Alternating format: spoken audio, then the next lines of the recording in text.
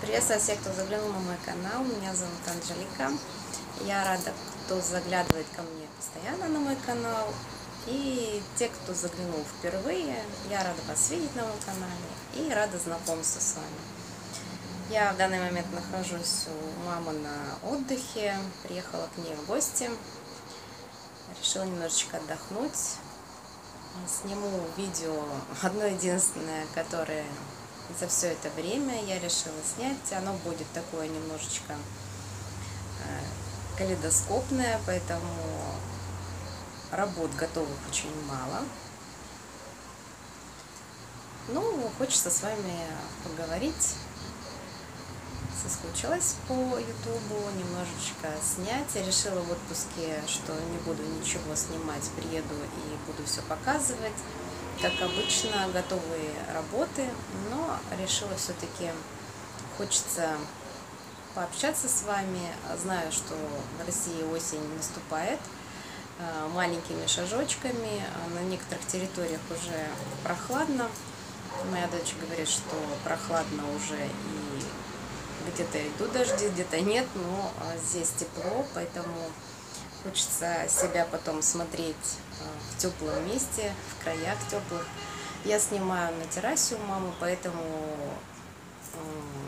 посторонние такие звуки будут. Э, иногда здесь э, соседская собака дружелюбно всех приветствует, поэтому звуки будут.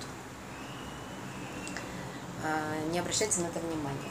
Я, когда приехала к маме, закончила вот эту работу. Это все-таки один единственный складень, который я выполнила для себя. Я вот, э, вот так вот покажу.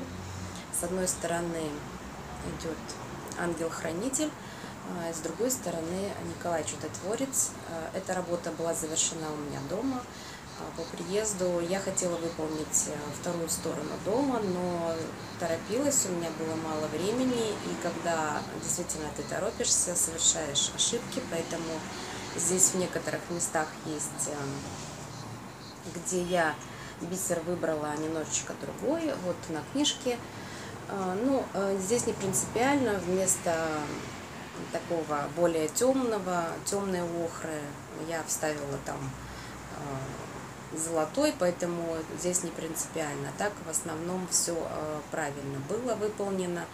А, я сделала вывод, что действительно такие работы нужно выполнять, когда они очень такие, ты в таком спокойном состоянии, поэтому я оставила и решила, что я возьму этот складень с собой и закончу его здесь э, у мамы в спокойной обстановке, а, как говорится, успокоив нервы и э, состояние спокойное. Поэтому мой складень готов.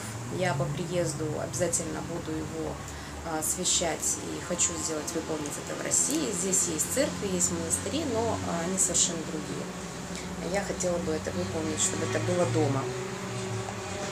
Вот такая работа у меня закончена. Э, наполовину она выполнена была, поэтому э, оставляла, чтобы была память и здесь, что я эту работу заканчивала. И э, видите уже на заднем фоне вот эта сумочка, которую я снимала вообще полностью отдельное видео. В Инстаграм я уже выставила некоторые э, фотографии с ней и фотографии с моей туникой. Заходите в мой э, рукодельный Инстаграм, вы увидите эту работу э, в сочетании с моей туникой. Я довольна результатом, довольна то, что я успела и выполнила, потому что если бы я не закончила и оставила ее недошитой, то по приезду мне бы такая осень была бы не к месту. До следующего года мне бы уже бы не хотелось, я думаю, работу. Поэтому, а, как говорит моя мама, зашел в танец, танцуй до конца. Поэтому начал работу, заверши ее, закончи, а, и все, и это будет забыто, и ты не будешь возвращаться к этому проекту. Поэтому я уже как бы показывала видео на, у меня на столе, как бы, да, я демонстрировала, но вот как выглядит полностью, как говорится, в пользовании уже эта сумочка. Она довольно-таки вместительная. Я вот поместила сюда свой э, рыжий старый кошелек. Я его называю летним. Он у меня очень-очень такой допотопный. Э, об этом я уже говорила, что я попался кошелек для того, чтобы вышить бисером. Там такая же кожа, не проглаженная, поэтому такие вещи, они очень быстро пачкаются. И, как я вам уже показывала, свой э, кармашек, который совершенно другого цвета. Здесь находится у меня немного вещей, как обычно, да, салфеточки, что нужно на отдыхе, ключи, телефон и кошелек. Самое главное, чтобы были денежки. Вот так вот э, выглядит э, сумочка. Еще раз показываю, как она выглядит э, в соотношении, да, вот с рукой, э, с одеждой и вот с самим человеком, да, как она выглядит. Довольно-таки она такая легкая, потому что, и видите, имеет такой корпус нормальный и не жесткий, и не твердый, да, то есть как бы не мягкий и не сильно пушистый, потому что за счет вот этого наполнителя, который я говорила, кто первый раз заглянул и видит эту работу первый раз, заходите, я оставлю ссылочки, заходите, смотрите более подробно, как зарождалась такая вещь, вот именно только ткани, нитки, вот такая вот сумочка. В ней находится мой очечник, который я выполнила на отдыхе. Здесь у мамы. Я взяла с собой бисер, взяла косметичку, тоже думала, буду отшивать. Посмотрю по времени, как успею. По этому очечнику есть у меня, как сказать, я довольна результатом, но когда я получила и разглядывала сам а, очечник и саму заготовку, а,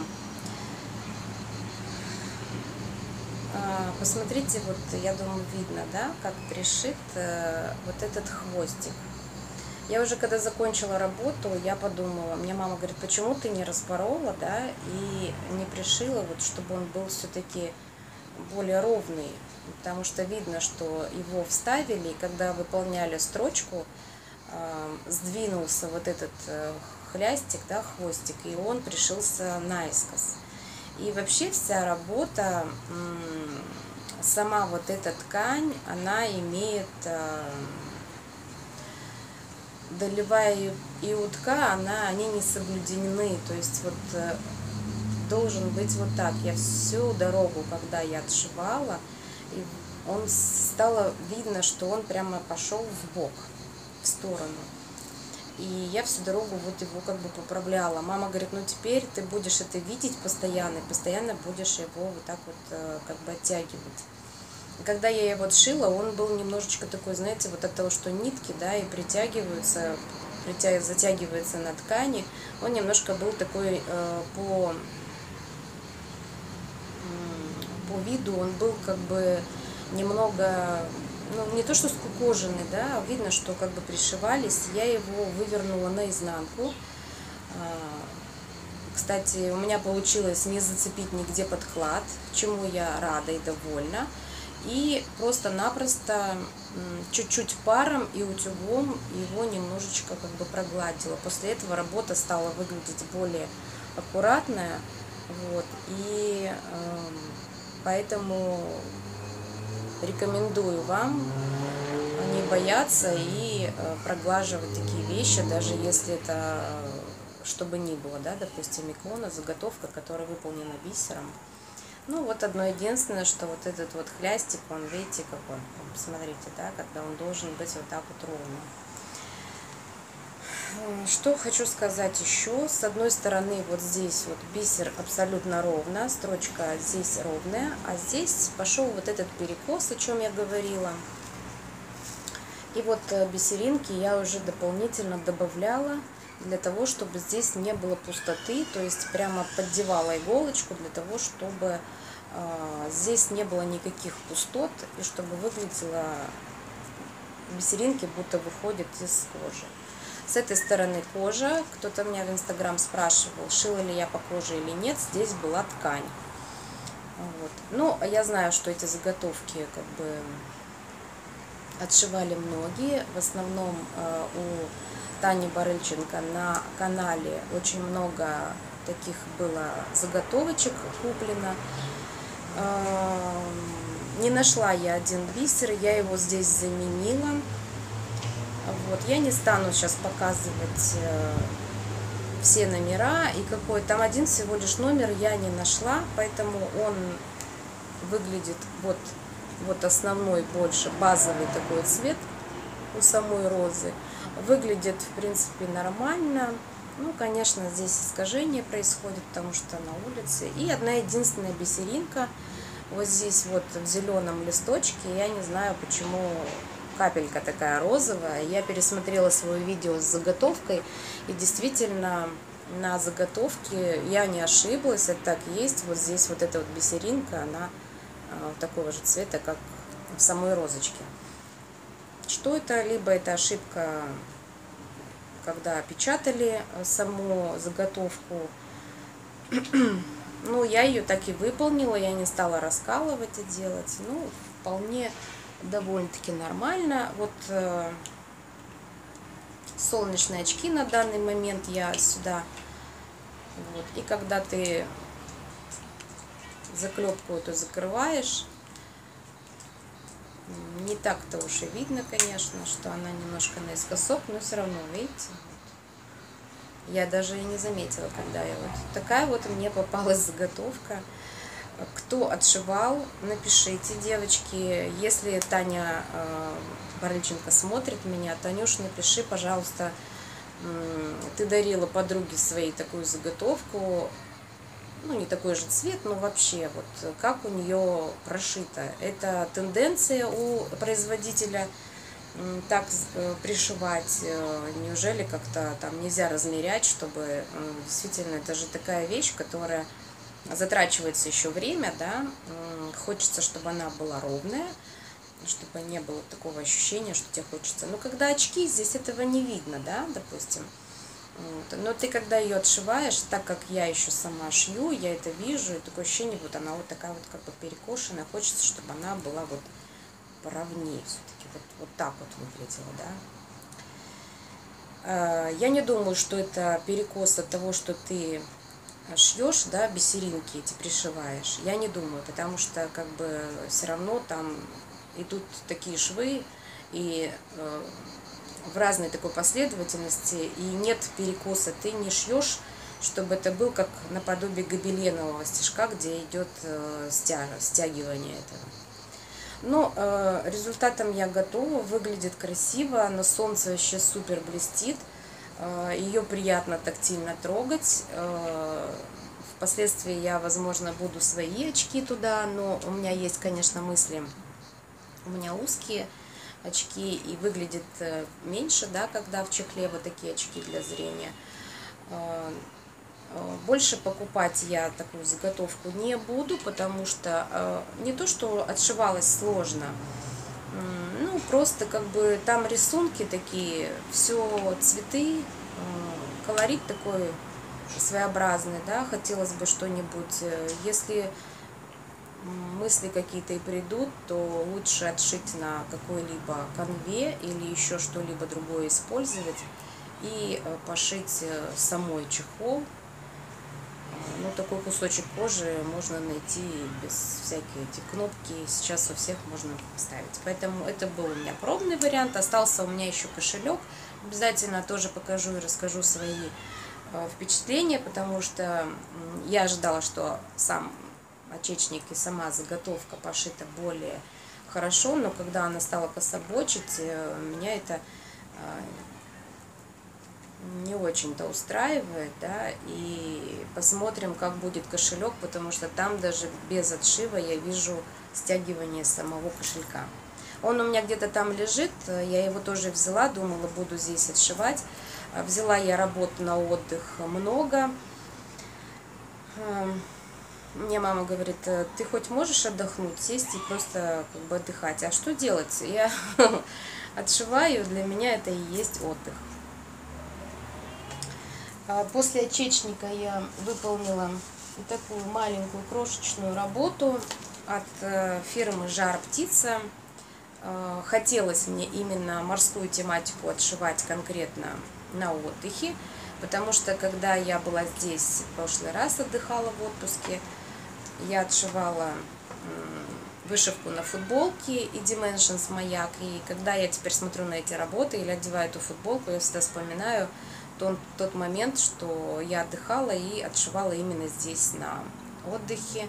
Мои воспоминания как бы связаны с этими работами, поэтому я взяла работу сюда прилично для того, чтобы посмотреть, что я отошью и буду потом в итоге вспоминать, поэтому и решила снять видео, чтобы потом была память такая некая. Вот такой вот маленький парусник, э, симпатяшечка, очень красивый. Я решила оставить этот э, парусник маме. Вот она недавно тут купила холодильник, и он у нее пустой, нет никаких абсолютно магнитов. Он э, белый, до этого у нее был серого цвета. На белом очень замечательно смотрятся такие вещи. Я его на фоне моря уже сфотографировала. Единственная загвоздка здесь была, я не нашла здесь у них клей-момент. Купила какой-то в клей в магазине канцелярском. Он оказался, ПВА как-то даже быстрее клеит, чем он. Мне пришлось долго промачивать вот это, промакивать вот, этот э, вот этот фетр задний, да, и для того, чтобы это все подсохло.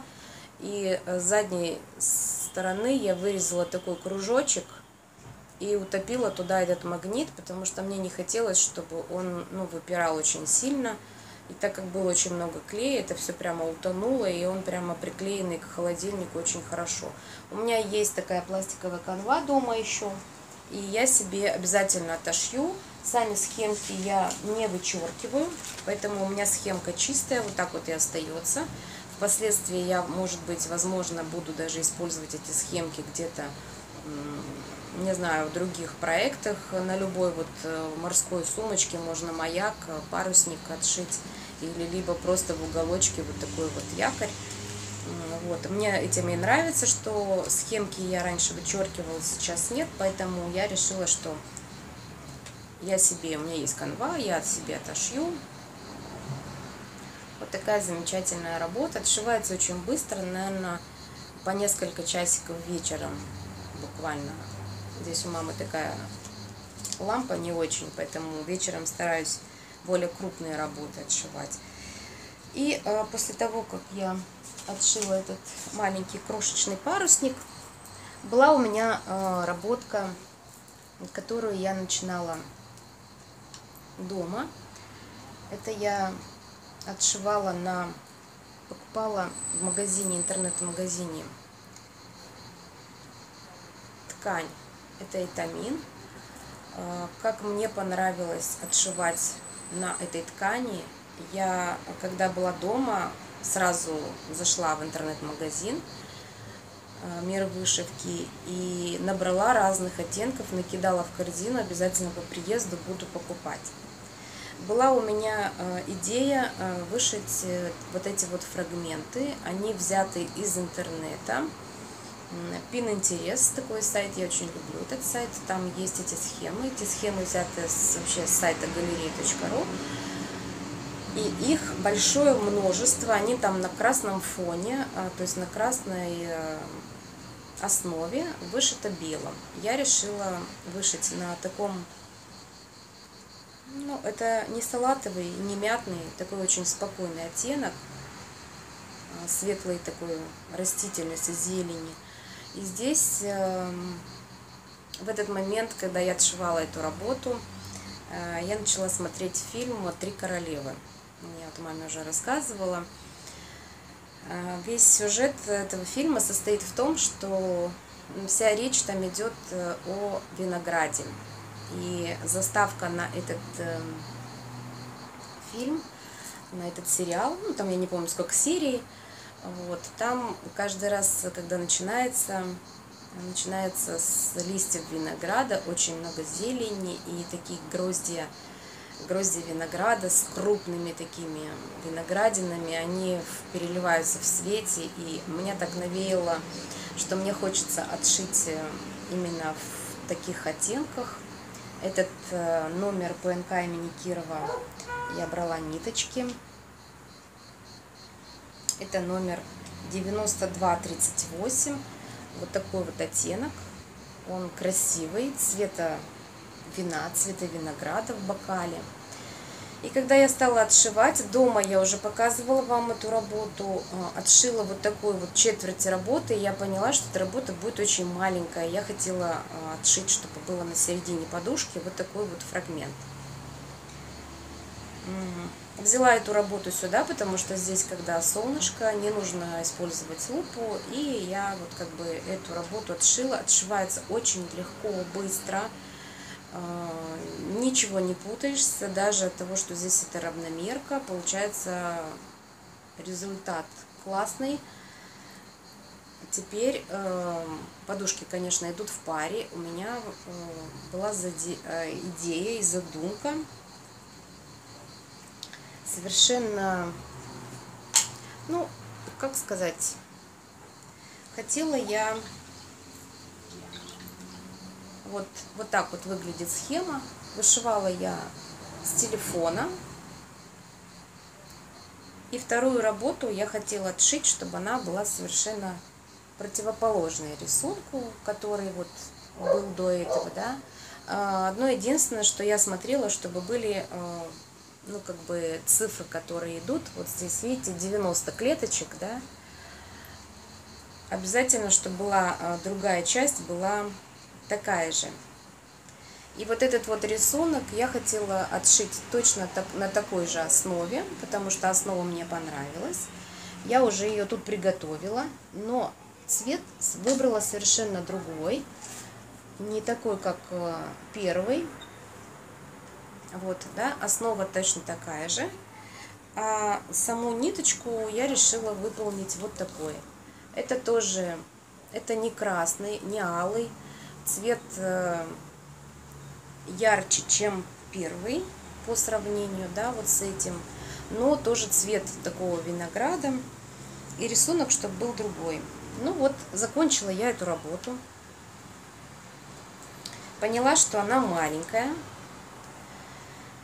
Сделала вывод, что я возьму вот этот центральный фрагмент. Ну, какие мои мысли и идеи, да. Возьму этот центральный фрагмент – по бокам я обязательно куплю вот такую ткань и сделаю борта для того, чтобы центр вышивки был посерединке, а борта были в контраст вот этого цвета. И чтобы подушки не были одинаковые, ну, я посчитала, что это будет банально, поэтому обычно, как, как бывает, да, две одинаковые подушки, хочется, чтобы они были немножечко э, как бы разные, но и в то же время основа была одна, а цвет был другой. Ну, мама, услышав мою идею, она говорит, э, по сравнению с этими нитками, вот этот цвет смотрится, ну, грустно, да, ну, выцвешенно, как бы сказала, темноват. Она у меня любит очень яркие цвета, поэтому вот, она говорит, отшивай точно такими же нитками, но сюжет другой. Вот я теперь сижу и думаю, погладила, отгладила, положила и наблюдаю, смотрю за этим фрагментом, обдумываю, как же мне все-таки сделать, вышивать ли мне вот так вот другим цветом. Здесь, конечно, сейчас передает неправильно абсолютно, потому что цвет э, сам по себе очень красивый. Это номер у нас 7509. У кого есть палитра ПНК и Микирова, я думаю, они понимают, о чем я говорю. Вот. Но мне нравится настолько вот этот узор. А, считается, что это монохром, но настолько рисунок легкий, и он так быстро вышивается. И мне так понравилось. У меня уже теперь куча идей, а, что еще можно отшить в таком стиле. Накрутила я, намотала, взяла, набрала себе на таких бобинках. Вот здесь вот одна пасма выходит на такой, это волшебная страна. Вот. А, правда, я не поняла, где клеить здесь бумажку для номера, но я намотала, потому что накрутила ниточки. А, думаю, возьму, вдруг мне не хватит, а, не знаю, что я буду делать вот на таких вот э, маленьких э, штучках. Вот. Ну и пока я отгладила, положила ее так в сторону, наблюдаю за ней, думаю, что же, как же мне решить, каким цветом выполнить. Вот. Ну и в перерыве я отшила отшила. Еще не закончила, сегодня обязательно сделаю бэк. Это все жар птица, второй фрагмент. Здесь, конечно, Отшивается вообще здесь. Это я буквально вот вчера посидела немножечко. И позавчера там по часику, пока там под какой-нибудь тоже фильм или под YouTube. Вот.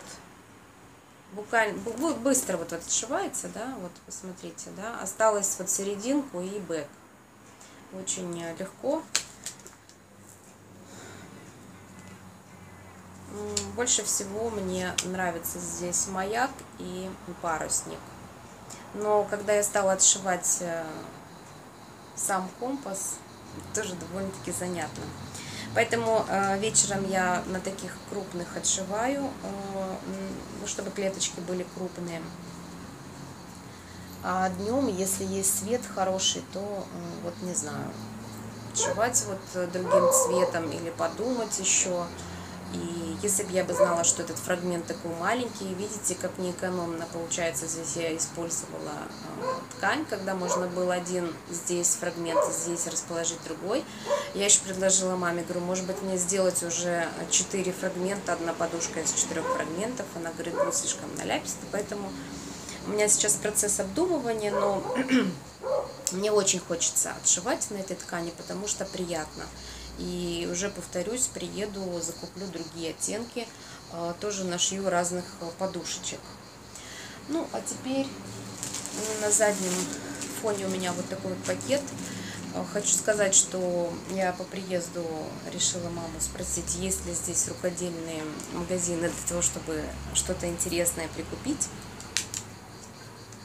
Здесь беда с рукодельными магазинчиками один единственный магазин, который я в прошлом отпуске тоже здесь попал. Это вот э, такой фирменный пакет они складывают все.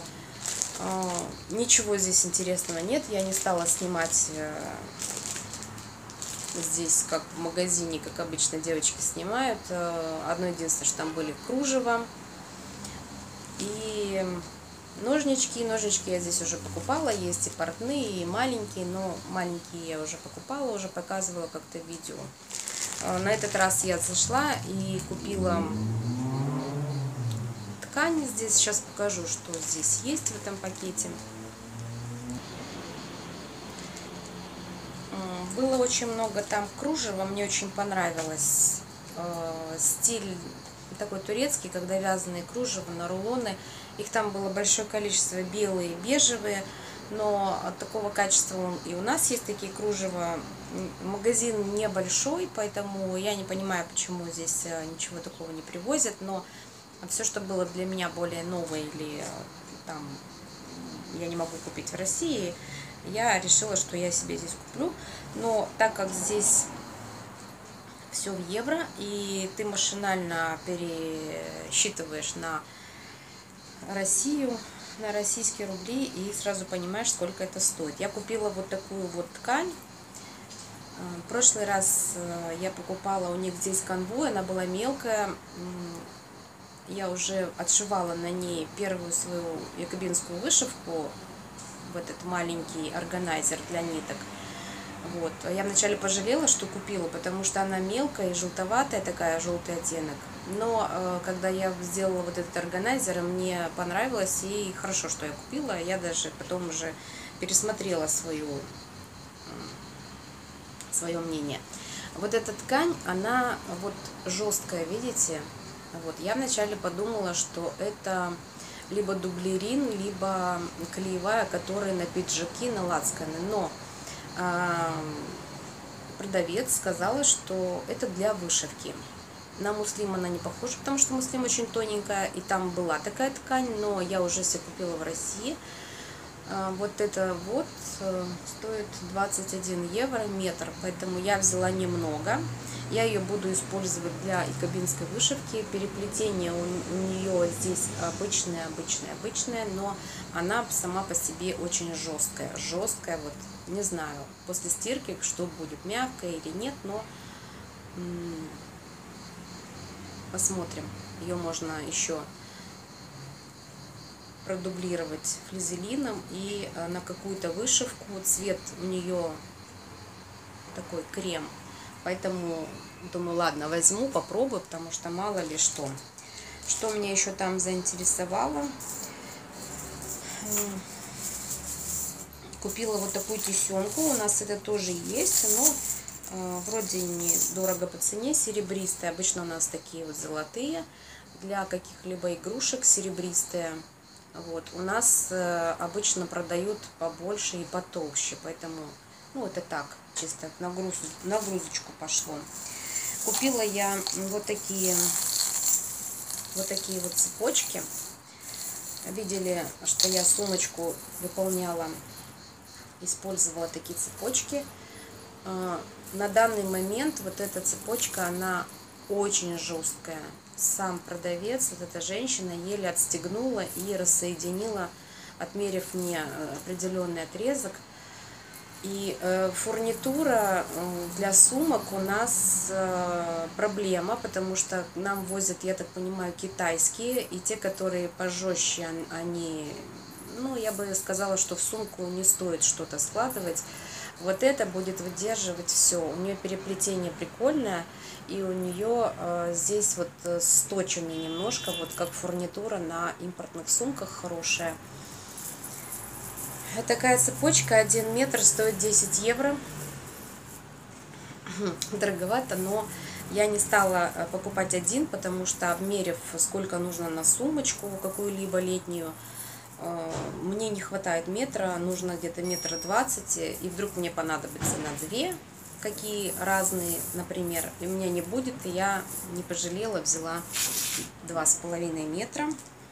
А пускай будет, потому что ты вроде не задумываешь сейчас, ничего тебе не нужно, а потом, когда ты уже решил, э, начинаешь искать в поисках и найти не можешь. И еще была вот одна вот такая крупная, э, там она у меня почему-то перекручивалась у нее в магазине. Нужно будет ее просто с ней немножечко так вот ее выпрямлять. У этой немножко другое тоже переплетение. Поближе покажу. Вот так вот выглядит э, сама цепочка.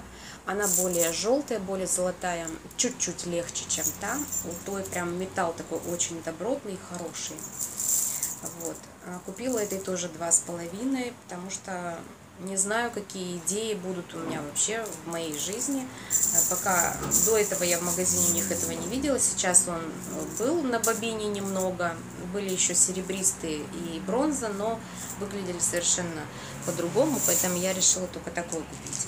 Почему купила эти цепочки? Потому что у них там есть вот такой вот отдел с такими вот заготовками для сумок. Здесь цвет пудры Сейчас сниму с, пак с пакета. Я вытащила с пакета. Вот так вот выглядит эта заготовка. Это заготовка для вязаного, вязаной сумки. Это отверстия мне понравились для цепочек, поэтому я и купила эти цепочки. Вот так вот будет выглядеть, если она будет связана. То есть вот здесь с этой стороны будет вязание, боковушки вы уже решаете, да, то есть какие будут бортики по бокам.